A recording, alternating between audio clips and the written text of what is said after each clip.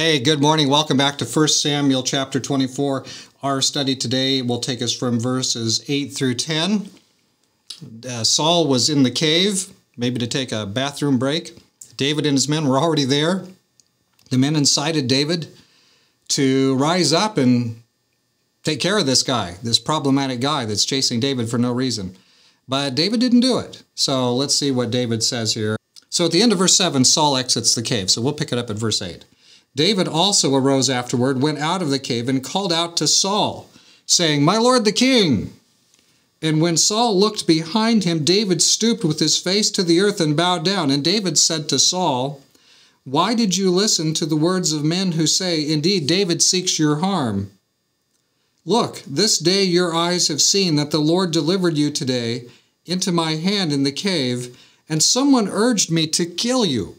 But my eye spared you, and I said, I will not stretch out my hand against my Lord, for he is the Lord's anointed.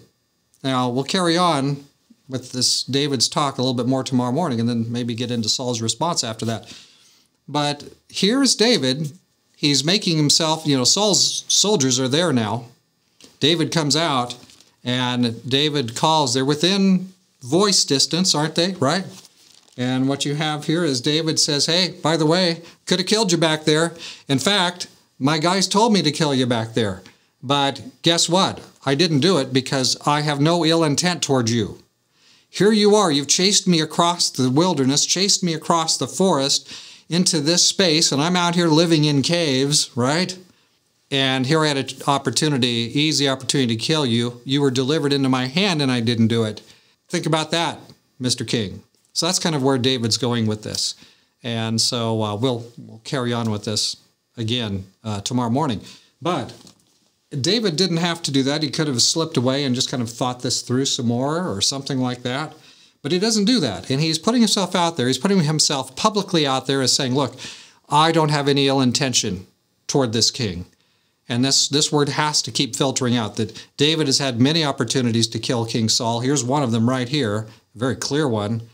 Uh, but he's not taking him up on that. So maybe that's not maybe that's not David's plan. David's plan is not to kill. The Bible says, "Thou shalt not kill," and uh, David is not going to wantonly kill King Saul. But we'll see more tomorrow morning. Lessons for us. Sometimes we just need to tell the truth. David tells the truth. Hey, I'm not. It's not my business to kill you. I'm not even trying to kill you. In fact, I've done everything I could not to kill you. Can you cut me you know, some mercy here. So telling the truth, even though Saul's going to have trouble hearing that, needs to be done sometimes too, anyway, doesn't it? Let's pray. Dear Father in heaven, uh, please be our guide. Please, you were uh, David's guide at this very decisive moment. Thank you that a pattern was set there, a pattern of care and mercy and respect and rever- uh, respect for the king, proper respect now, Lord, again, we look to you. Please be our leader and guide. Help us to take the right decisions and help us to know how much to say and how much not to say when we've taken the right decision to follow you. Now, Lord, we want it on the record that we're trying to do right, and you be our guide for that. Thank you for hearing our prayer. In Jesus' name we ask. Amen. Hey, friends, God will be our guide, and we can make good decisions like David made that moment in the cave. God be with you in all that you do.